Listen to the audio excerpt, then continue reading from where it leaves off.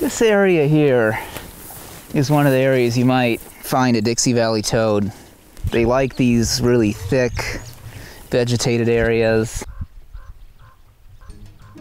In this remote stretch of Nevada desert, about three hours from Reno, researchers made a surprising discovery a new species of toad.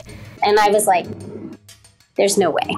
This is impossible because a new toad species north of Mexico hasn't been described in like 50 years. The Dixie Valley toad is about the size of a credit card, has big, bulging eyes, and is believed to have inhabited the valley since the time of the woolly mammoth.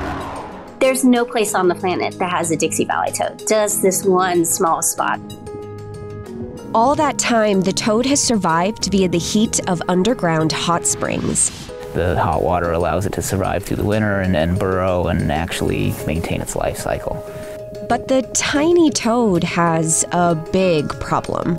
The same heat that warms its habitat also makes the area attractive for a coveted type of renewable energy. We're in Dixie Valley, Nevada. Behind us, we have a partially constructed geothermal plant in 2021, an international energy company received a permit to build a geothermal power plant next to the toad's habitat. Geothermal energy drills deep underground to the hottest layers of the earth and converts that heat into steam. The steam then turns turbines, which generate electricity. It's not exactly a new idea. Is this a viable solution, geothermal? It definitely is. Today, the Biden administration sees geothermal as a 24 7 renewable energy source to help fight climate change. With the right investments and incentives, we can increase the power that we generate from, from the heat beneath our feet 47 fold by 2050. So, the Biden administration has really emphasized geothermal energy as a way to provide carbon free power to the grid but in the Dixie Valley, biologists have raised concerns that the plant could impact the hot springs. That, in turn, could end up threatening the toads. In 2021, the Bureau of Land Management gave approval for the plant to move forward. Weeks later, an environmental nonprofit sued. The nonprofit's case was helped in 2022 when the Dixie Valley toad was listed as an endangered species. The plant sits half built while the government undertakes further environmental review. There is this kind of clash right now between clean energy evangelists who want to develop and provide renewable energy to the grid and local conservation groups like the Center for Biological Diversity that you know see this as being a really special place. We've been pretty clear that you know one of the lines we're going to draw is extinction. The power plant itself has no impact on the toad whatsoever. We've never had a take of a species. The renewable energy plant or the threatened toad. A central issue should a decades old permitting law that has been a bedrock of American environmentalism be reformed? Air pollution already is so bad and getting worse so rapidly that some scientists are predicting that we'll run out of fresh air to breathe in 10 to 35 years. In the 1960s, industrial pollution was rampant. Images of wildlife drenched in oil filled the evening news. Rivers were catching on fire. Burn on, big river, burn on. That was a clear indication that environmental protection was becoming more important to Americans than it had been previously. People start pollution, people can stop it. Welcome, sulfur dioxide. Over the next decade, Congress passed a slew of environmental laws. In 1970, Richard Nixon signed the National Environmental Policy Act, or NEPA. It was really the first federal statute adopted to deal with environmental problems and kicked off what many re- refer to as the environmental decade of the 1970s. This is Robert Glicksman, a professor of environmental law at George Washington University Law School.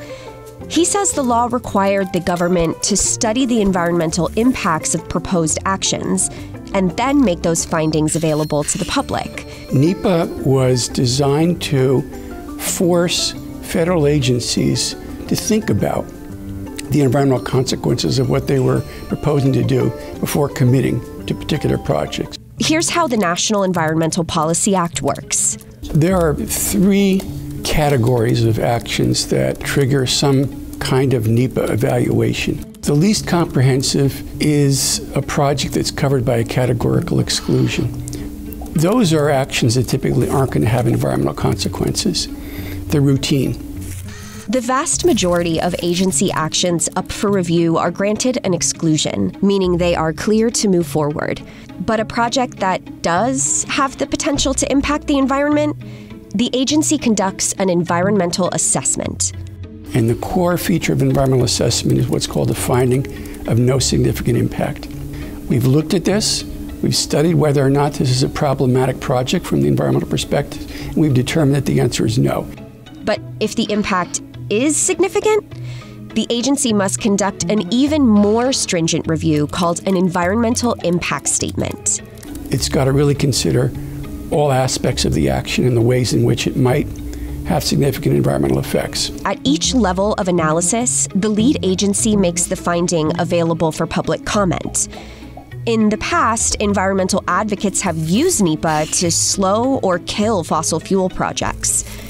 But in recent years, renewable energy has become a target. To permit a geothermal facility today on federal lands, in a best case scenario, it takes about four years. Which brings us back to the Dixie Valley. As you may have guessed, the geothermal plant did not receive a categorical exclusion. It required a more thorough environmental assessment. In 2021, the Bureau of Land Management had an environmental assessment, and it found no significant impact on the toad species, which then allowed construction of the plant to begin. But here's where things got wonky.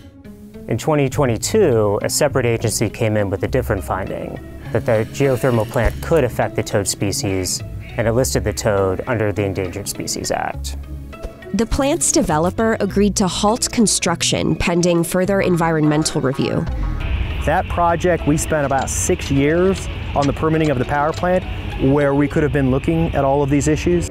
In Washington, a movement to speed the development of clean energy projects is gathering steam. Pun intended. And today, in the wake of the climate crisis, the Biden administration is looking for further ways to speed up the permitting process. In this administration, with this president who has an incredibly ambitious agenda to address climate change, these are issues that really require us to take action at the moment. Brenda Mallory heads the Council on Environmental Quality, or CEQ. It's an office in the White House that was created under NEPA to give agencies guidance on how to comply with the law. Mallory says climate change has created an urgency to reform NEPA while still balancing community interests. I always feel like you have to there has to be a balance on like what's appropriate. How do you make the system work faster but do it in a way that still continues to protect people? NEPA supporters worry that changing the law will come at the expense of local environmental concerns, like the Dixie Valley toad. At the center, we support renewable energy not every site is appropriate for development. If we want to meet the administration's goals of developing this, you know, prolific, fantastic uh, renewable resource, we need to expedite the permitting process. Meanwhile, in the Dixie Valley, the toad carries on, as it has done for millennia, unaware of the fight over which is a greater threat to its existence the geothermal plant or the climate crisis it's being built to solve.